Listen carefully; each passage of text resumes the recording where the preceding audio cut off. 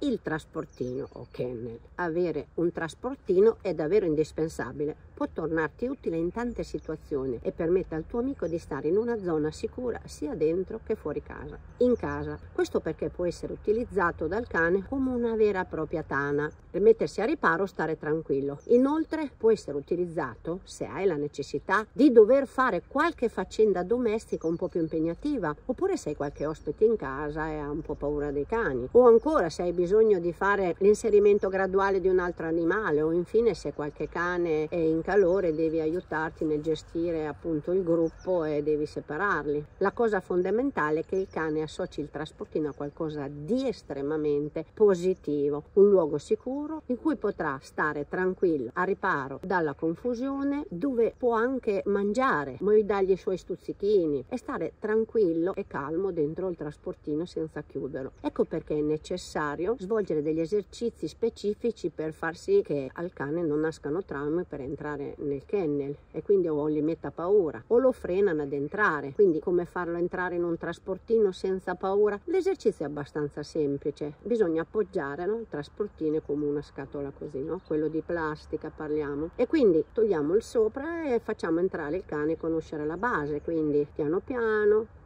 va dentro, poi cominciamo a metterci il coperchio diciamo e la porticina aperta e cominciamo a fare la stessa cosa. Poi abbiamo anche la gabbia la gabbia è quella tutta aperta basterà coprire i tre lati con un telo per farlo diventare una tana tranquilla. Cosa fondamentale non spingerlo ma lascialo entrare piano piano aiutandoti con del cibo dei premi succulenti e ciò che a lui piace di più ovviamente. Il trasportino dovrà essere collocato in una zona tranquilla della casa e non in una zona di passaggio con, come l'ingresso o vicino alla tv. Ricordatevi che il cane sente molto più di noi, quindi figuratevi sentire sempre tutto questo rumore. All'interno dovranno essere metti i premetti, la ciotola, i suoi giochi, la sua copertina e tutto ciò che solitamente desidera nella sua cuccia. Altre cose importantissime è non lasciare sempre la porta chiusa e premialo quando è all'interno lasciate la porta aperta e premiatelo non quando esce ma quando entra.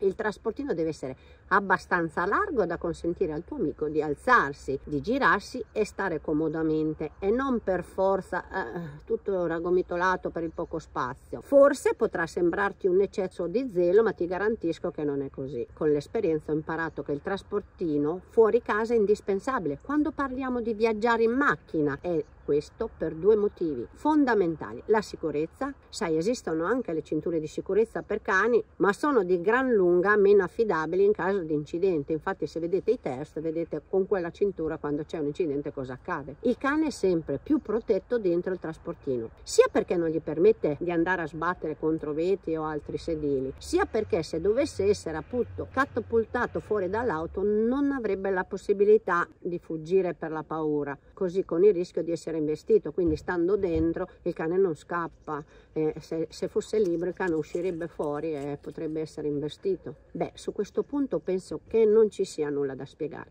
Il cane, se ben abituato, sarà ben lieto di preferire la comodità del trasportino alla scomodità dei sedili o del bagagliaio. Il mio consiglio, se non hai ancora preso questo prezioso strumento, ti spingo fortemente ad acquistarlo, però mi raccomando, non usarlo mai per arginare comportamenti del cane che invece dovrebbero essere risolti in altro modo, come ad esempio il problema che siccome fai i bisogni in casa e tu non ci sei o distruggi tutti e molti proprietari chiedo che così si risolve la situazione. Questa condizione è critica riducendo al minimo il danno. Così facendo però non ci rendiamo conto di aver causato altri problemi, perché questo infatti potrebbe sfogare in ansie e paure e anche andare direttamente su se stesso, quindi leccandosi eccessivamente o anche andandosi ad autolesionare. Quindi il trasportino è utile per la macchina, per la casa, quando andate in qualche albergo, qualsiasi cosa, ma non chiudete il cane dentro per ore e ore. Mi raccomando, il trasportino è utile per le cose che vi ho elencato,